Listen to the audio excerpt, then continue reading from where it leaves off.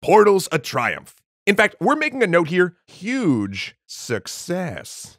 It's hard to overstate our satisfaction, but Aperture Science, while they do what they must because they can, might not be espousing proper physics lessons to all of us, no matter what GLaDOS said. But there's no use crying over some possible mistakes, and we should keep on trying to make science less opaque. So our analysis will be done with a physics lesson we hope is fun for the people who ever wondered if Portal's rules of momentum and energy could ever hold up in real life. We promise there's cake at the end.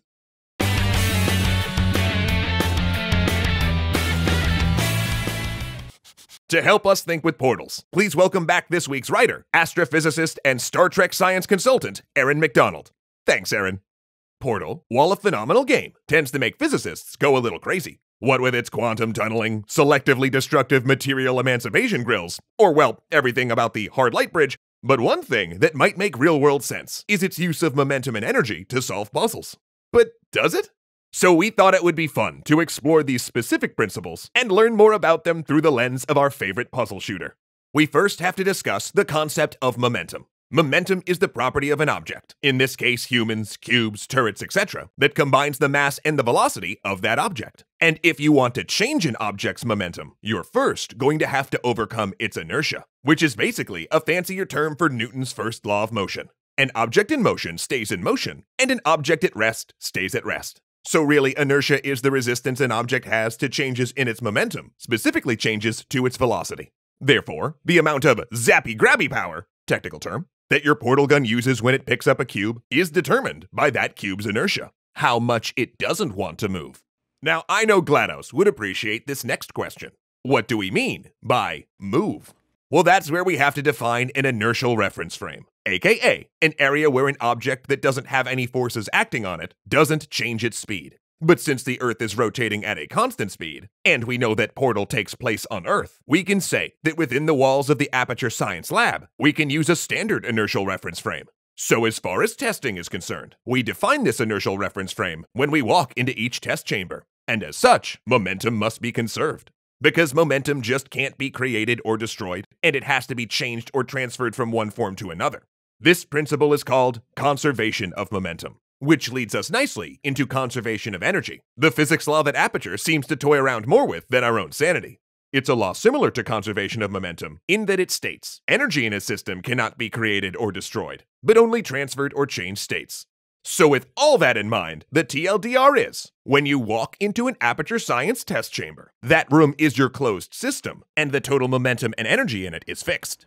When a cube is dropped from a dispenser, it doesn't really seem any different than a cube sitting on the ground, creating a portal on the ceiling and one on the floor under it, causing said cube to fall through and pop out from the ceiling. Because, I mean, that's how gravity works, right?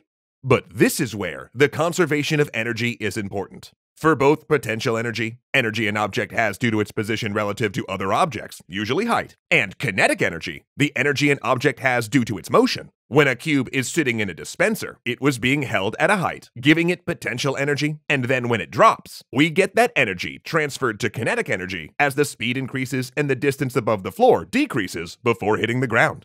But when a cube sits on the floor of a chamber, according to our inertial reference frame we defined, the chamber itself, its height is zero.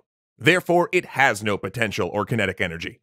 Even though the down direction gravity pulls doesn't change in the test chamber, with the ability to build a portal underneath a cube sitting on the ground, again, height equaling zero, and a twin portal on the ceiling, you've immediately created energy out of nothing. Because now the cube has potential energy, which in our current understanding of physics is impossible.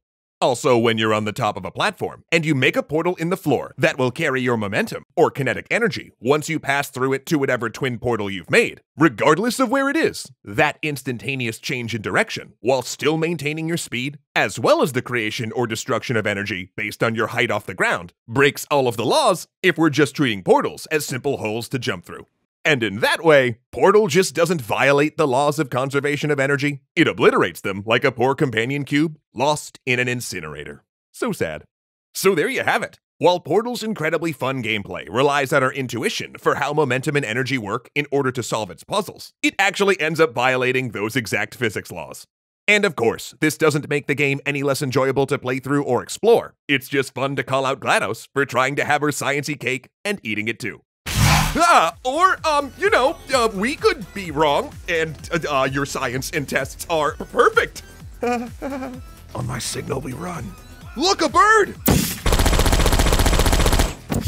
But we did just break the rules again. Legendary patron roll call. Ahmed Ziad Turk, Alicia Bramble, Casey Muscha, Dominic Valenciana, Gunnar Clovis, Kyle Murgatroyd, and O'Reels1. Thank you so much.